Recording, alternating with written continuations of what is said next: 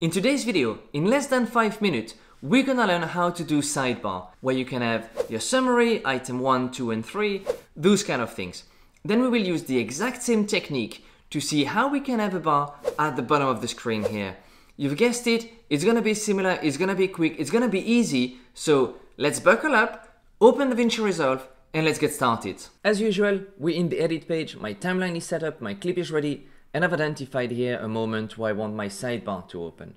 Now, the first things we will want to do is to get some text. For that, let's go into the effect library right here, then under title, and we can simply select text plus. You might be tempted to go with normal text, but there's a few things we will want to do that a normal text won't allow us to. So be careful to take the text plus. Here, I'm gonna change that text. I'm gonna go with summary, item one, item two, item three, and we can already see that this text is not properly aligned.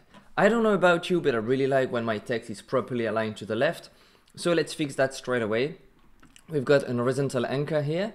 Let's make sure to select left. When I'm doing this, everything now is properly aligned.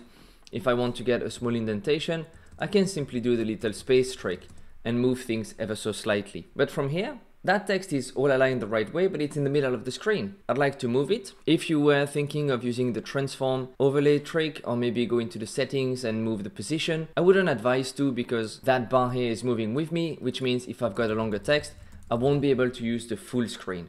What I want is to move the text within the frame rather than moving the frame. So that's fairly easy to do. Let me reset everything. There we go. And here what I'm gonna do is still into the title settings, go into the layout. Here I can use my center and I can start moving things across. That will still allow me to use the full length of the title.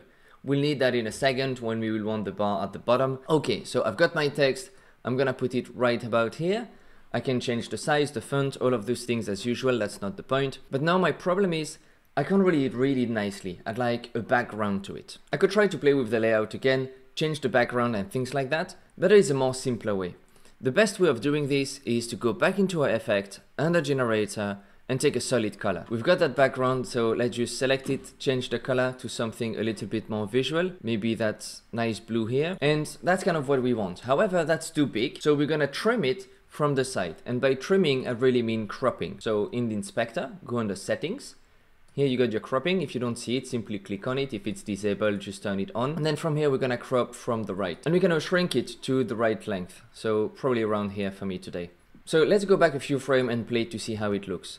It appears roughly what I need, summary 1, 2, and 3 and then at the end it simply disappear. This is looking great, but let's go to the next level by having the sidebar walk into the frame and then walk out of the frame at the end. To do so, we could use keyframing and we can start moving the position, but there is again a faster way of doing this. For that, we're gonna go into our effect and now we're gonna go into video transition and we're gonna be looking for the push transition. Other transition would work as well, but the push will give us what we want. I'm gonna put it here in the middle just because the second half is really the part that I want if we play it quickly we can see that my text is just coming in at quite a linear speed. I'd like it to come faster in the middle and then slow down towards the end and ease into its final position. So we come here in the inspector, under ease, in and out. I just like it a little bit better. And then we're gonna just make sure that if I replay it again, that's looking way better. Now I'd like not just my text to do this, but my sidebar as well. So we're gonna clone a transition, simply select it, press option on the keyboard, and then go into the next level and put it here on the push. Now you need to make sure that both are aligned, otherwise your text will come first and then your sidebar might be what you want, but if we want to align this, let's put it here in the middle. For that, in the inspector, we'll be able to select what our alignment is. Either we want it to the left, to the right, or like we've done here in the middle. So now we're nearly done. As we can see, when we're playing it, it's coming quite nicely in. That's exactly what I want.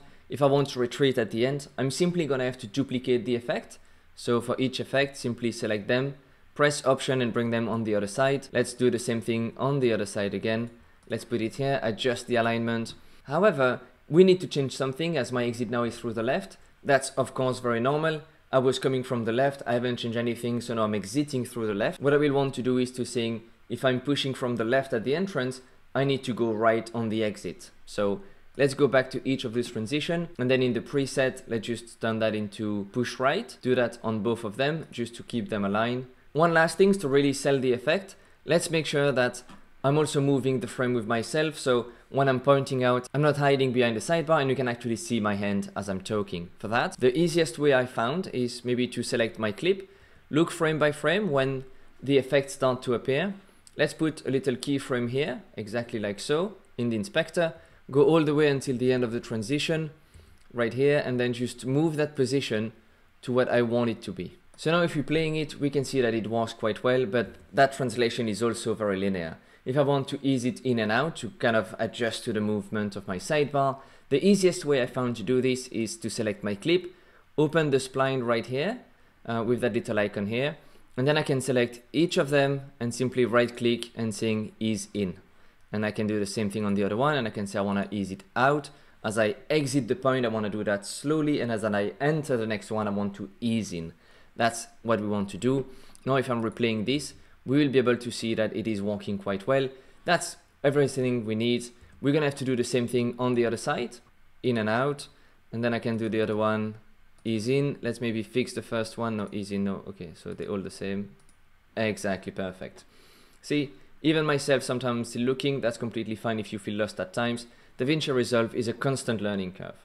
But now if I'm playing it, I can see my sidebar coming in, I can see my summary, everything I need, and then I can go out. If I want to build a sidebar, it's also super easy. I can start to chop it up, and because we've aligned the text and nothing will be moving, as I come back into the inspector, uh, I can now go into the text and really remove everything that is not necessary, exactly like so. For each of them, just leaving the piece I need. Now we can see that the text is jumping. To fix that, we can simply use the space trick. So let's make sure to leave an empty line for each element so we know that everything will be at the same level. So that would be item 1 item 2 item 3 and then as I play it now because of those space everything is kind of pre-aligned at the right level and now it looks quite nice. This is the easiest quick and dirty trick that I know. Now if we take the same technique we can actually adjust this and change all the effects. So if I'm taking all of these with option move it across and I can now change the transition. Rather than pushing left I will want to come from up and then I will want to exit from the way down. I'm not gonna put the text because we already know how to fix this,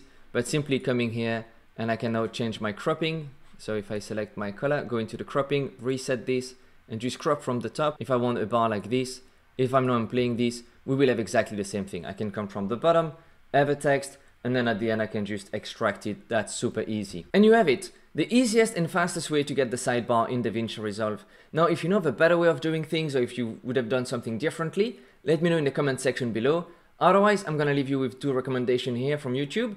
One is the thing I think is the best, which is how to use text for masking effect in DaVinci Resolve. The other one is what YouTube thinks is best. I'll see you in the next one. Until next time, ciao.